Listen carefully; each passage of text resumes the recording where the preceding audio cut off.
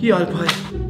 Was ist das? Soll ich das jetzt austeilen oder wie? Nein, das ist alles, was du gestern verpasst hast. Oh, was? Oha, da fehle ich einmal in meinem Leben einen einzigen Tag und dann verpasse ich direkt Schulstoff von einem ganzen Jahr? Wenn du wüsstest, was du noch verpasst hast. Gestern gab es einfach drei Schlägereien. Niemals. Auch eine wurde sogar davon auf Eurosport ausgestrahlt. Hast du nicht gesehen? Was laberst du? Und dann sind unsere Streitschlichter erfolgreich eingeschritten und wurden deshalb befördert zu den Schulermittlern auf RTL. Labert doch keine Scheiße, Mann. Ich schwöre, und das alles vor Augen von Cristiano Ronaldo. Ronaldo war hier? Ja, der war gestern unsere Sportvertretung. Yo, yo. Und was machen die heute? Also zuerst schreiben wir einen Überraschungstest, danach schauen wir einen Film, bei der ihr euch Notizen machen müsst, weil ich euch danach abfragen werde und dann haben wir anschließend vier Stunden Mathe.